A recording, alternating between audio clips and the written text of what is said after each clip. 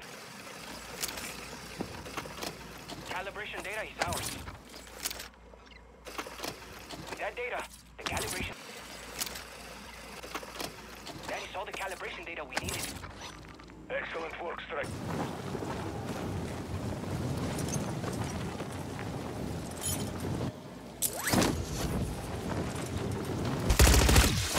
Look to move!